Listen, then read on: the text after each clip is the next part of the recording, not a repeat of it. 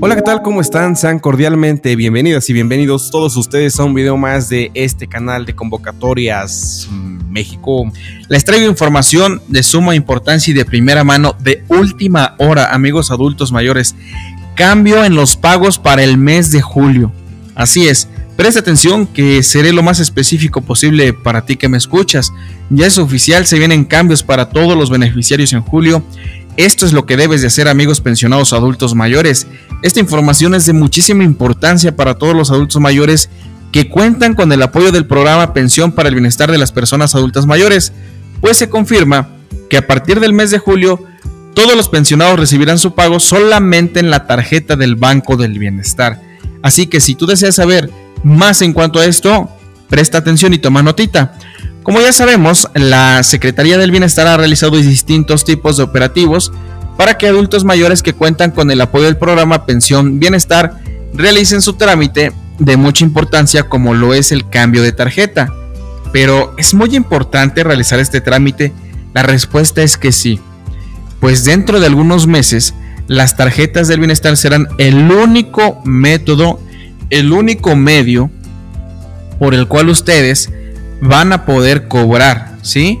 Es el, va a ser el único medio para que ustedes cobren adultos mayores afiliados al programa de la pensión bienestar y recibirán sus pagos en esa tarjeta solamente, ¿sí?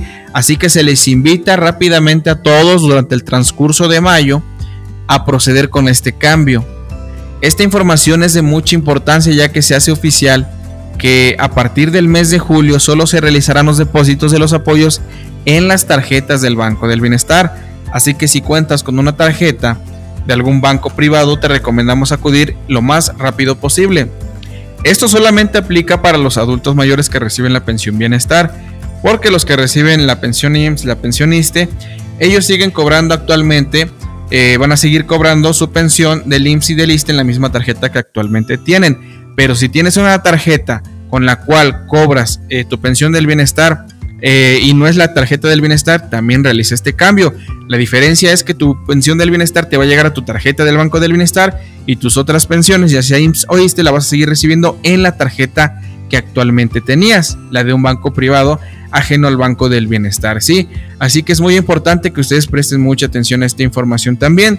Hay que acudir con su identificación oficial vigente, puede ser credencial de lector, eh, pasaporte, cartilla, cédula profesional, credencial del INAPAM o carta de identidad, acta de nacimiento elegible, CURP, comprobante de domicilio no mayor a seis meses, teléfono de contacto. Es importantísimo que registren un número de celular, amigos.